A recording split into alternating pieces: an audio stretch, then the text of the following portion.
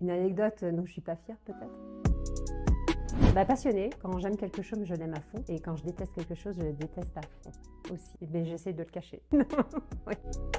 Justine. Euh, bah, on passe tout de suite à l'âge là, après le prénom? Je fais partie du comité euh, de direction. Ouh, alors j'ai commencé comme prof en 2014.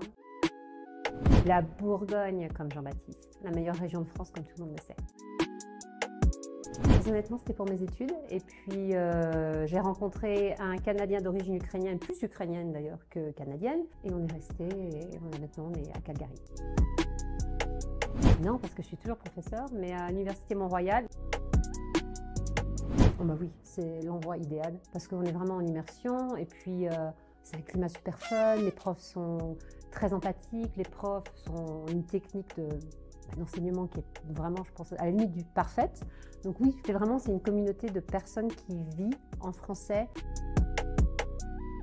Pour moi, c'est la langue déjà, et puis quand on parle de français, c'est en France, alors que la francophonie, ça va être beaucoup plus large, c'est beaucoup plus inclusif, et ça ne se limite pas du tout à la France, surtout quand on est au Canada. On n'est pas du tout en France ici, c'est vraiment la francophonie, c'est un, un, des pays fondateurs de la francophonie en plus. Ah, Dépotrominé. What? J'adore. Bro, what are you talking about, man? T'as jamais entendu des miné C'est mignon, hein? Lever, Tu te lèves pas des miné très tôt le matin et en pleine forme, c'est comme les enfants, des miné euh, Papillon, c'est le nom préféré de ma fille. Bah déjà, vous êtes au Canada, qu'est-ce que vous attendez? Quand même une langue officielle. Non, mais au-delà de discours officiel, pourquoi apprendre le français? Parce que c'est une très belle langue, c'est une des langues les plus parlées dans le monde, et vous êtes vraiment dans un environnement qui est très sain, qui est parfait, encore une fois, pédagogiquement, culturellement. Vous pouvez non seulement le pratiquer en classe, mais vous allez aussi le pratiquer dans des activités culturelles multiples. Que vous aimiez les croissants ou pas, c'est pas grave, vous avez aussi des activités sportives. Donc pour moi, c'est évident que c'est la meilleure place, en tout cas à Calgary, pour apprendre le français. Et puis, c'est vraiment, un, on va dire c'est un climat pédagogique qui est très euh, calme, serein et qui n'a pas de jugement. Donc on peut venir avec toutes ces peurs, toutes ces craintes. Dès qu'on rentre dans l'alliance, ça s'évapore en fait. Tellement bienveillant. C'est bienveillant. Pour moi, c'est le mot de l'alliance, c'est bienveillant.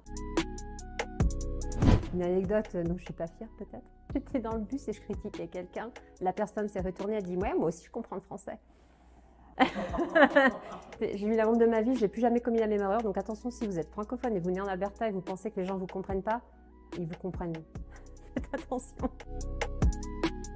L'Alliance, venez, venez comme vous êtes. On va vous accepter, on va vous aimer comme vous êtes. Donc venez. C'est tout. Salut